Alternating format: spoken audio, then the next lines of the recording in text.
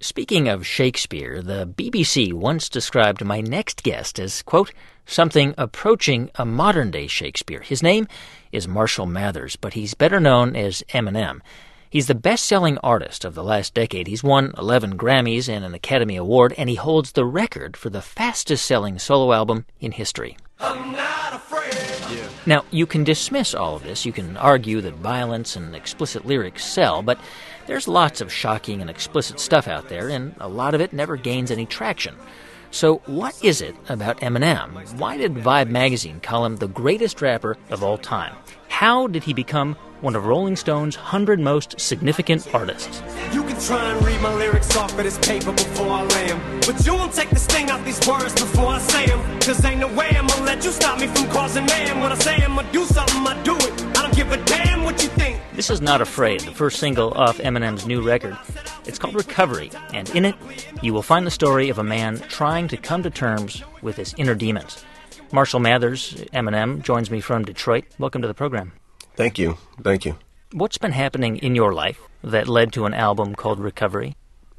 Um, that's a very broad question. There's a lot that's happened in my life that's that's led to this. Um, I went through a, a pretty long period of uh, struggle with addiction, and in coming out of that addiction and, and being clean and, and, and sober now for a little over two years, I put out a record last year called Relapse, but kind of felt like I, I've done a lot of growing up, and I don't really feel like the last album really reflected where I was at mentally. The, the first single off this album, Not Afraid, there's a line in there, and it says, It was my decision to get clean. Did, did you hit a point where you were scared for yourself and for the people you love?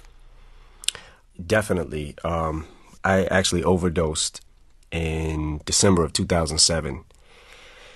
And it was one of those things where they actually said that had I got to the hospital two hours later, that I would have died.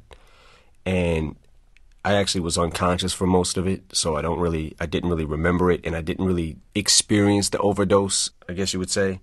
I, I, I don't think I actually realized the totality of what had happened. So after I got out the hospital, I was in the hospital for a couple of weeks, and when I got home, I kind of went right back to using again, and kind of, uh, kind of scared the out of myself. What were you taking? Um, Valium, Ambien, Vicodin, and methadone. Hmm. I started taking methadone around December, early December, which led to the overdose right before Christmas. And I didn't actually know that it was methadone. Somebody had given it to me and said, "Hey, you should take these. These aren't as hard on, on your liver as Vicodin is." And I don't, I don't think I actually stopped to even care what I was taking. And at that point, had someone told me it was methadone, I probably still would have took it. And you know, overdosed and made it through, and went back and relapsed about a month later. And within that month, had ramped right back up to where I actually was that caused the overdose, and just got scared and just went to some people and just said, "Yo, I, I've got a problem, and I need help." Was it you, or was there somebody else who said, "You got to look in the mirror"? Well, everybody around me knew that I had a problem. I think for a while I thought I was fooling people, but I guess I really wasn't. You know, everyone else can be ready for you to get clean, but if, if you're not ready, then it's not going to happen. So. Um, the, the theme on this album obviously is right there in the title, Recovery. And you return to that thread on a lot of the tracks, pretty dark times, and sort of the struggle to find a way out. And you can hear that on the track, Talking to Myself.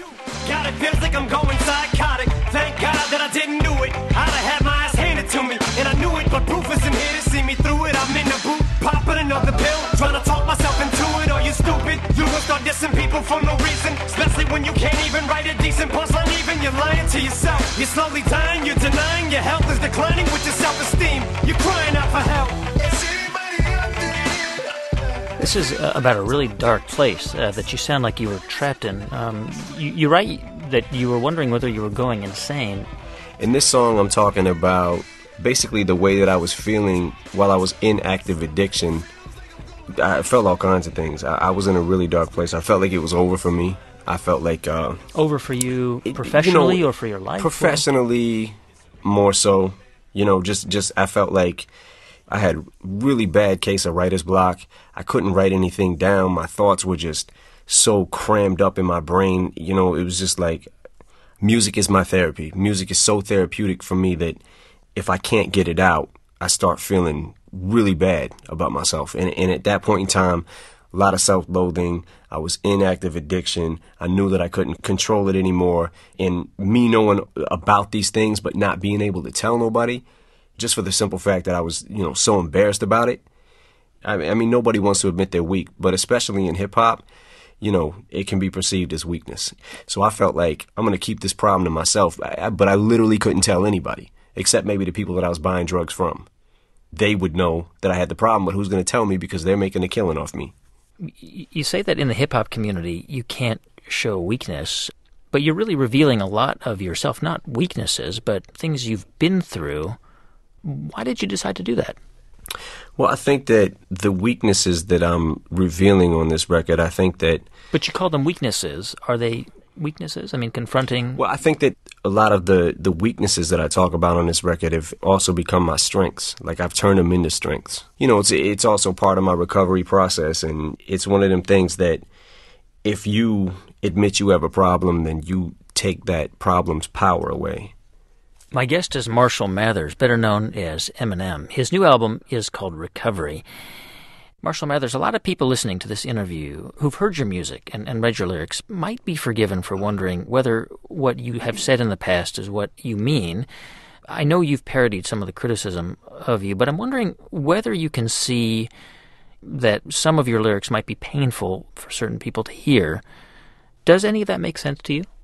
Oh, it makes sense. I mean, not everybody's going to like what I have to say. And early on in my career, I've, I, and I kind of said it, I've kind of always said it throughout it, is if you didn't let me get to you so much, you would take away all my ammo.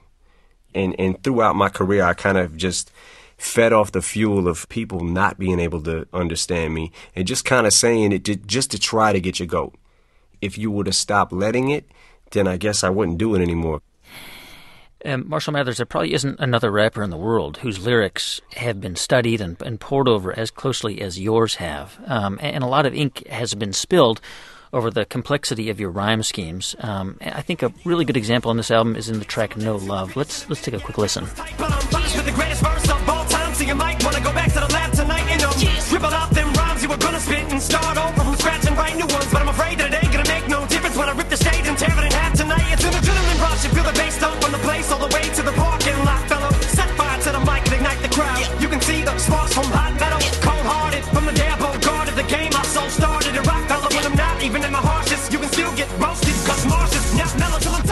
I hear this and I, I don't know how you do that.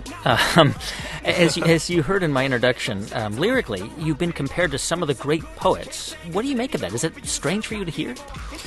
It is strange for me to hear because in the world that I live in, it's just hip hop to me.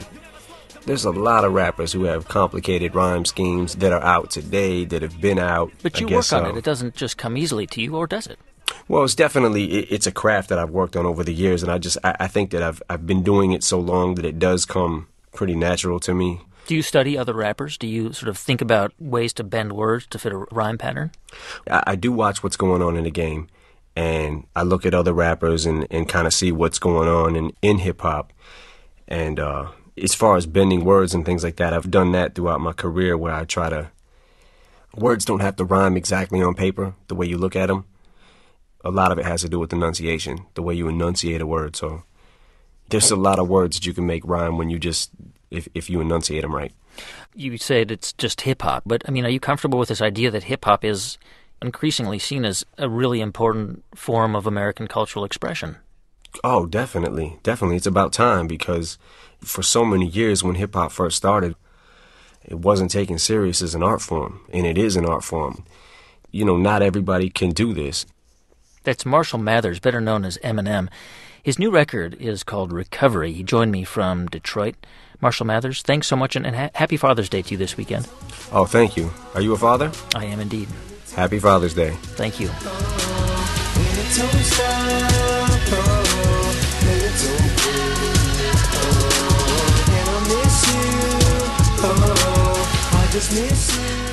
Tomorrow on the program, Sinead O'Connor on the Vatican's response to the church sex scandal abuse. It's lying in the face of the Holy Spirit, and they will not get away with it. That's tomorrow, but for tonight, that's all things considered from NPR News. I'm Guy Raz. Thanks for listening, and have a great night.